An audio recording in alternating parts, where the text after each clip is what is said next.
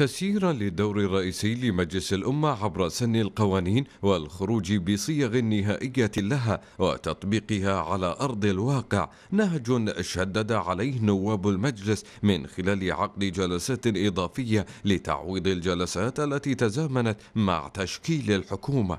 مطالبات النواب أكدت على ضرورة تعويض الجلسات التي لم يستطع المجلس عقدها بسبب مفاوضات تشكيل الحكومة الجديدة برئاسة سمو الشيخ صباح الخالد. وتمنى النواب على رئيسي مجلس الأمة والوزراء العمل على وضع آلية جديدة تكون كفيلة بالعمل على تعويض المجلس جلساته الضائعة إما بجعلها أسبوعية أو تعويضها بيوم الخميس في الأسبوع الذي تعقد فيه. النواب أشاروا إلى أن السلطتين أمام قضايا كبيرة وتحديات عديدة في دور الانعقاد الأخير وفرصة حقيقية للإصلاح لذا من الواجب أن تقدم مشاريع قوانين إصلاحية وتنموية تخدم وتعالج مشكلات المواطنين.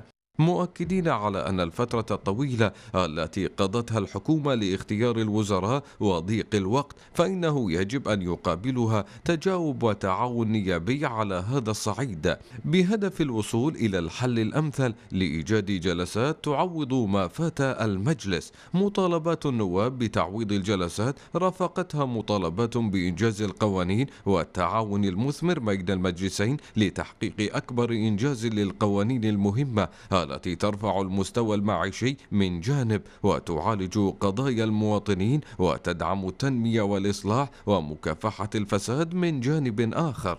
داعين إلى ضرورة أن تقدم الحكومة برنامج عمل يخدم المواطنين ويساهم في النهوض بالبلاد بعيدا عن الشعارات والعمل من أجل الإصلاح. مع قرب انقضاء الفصل التشريعي الخامس عشر تتعالى المطالبات النيابية بأن يسدل ستار المجلس بالإنجاز والتنمية وتفعيل القوانين.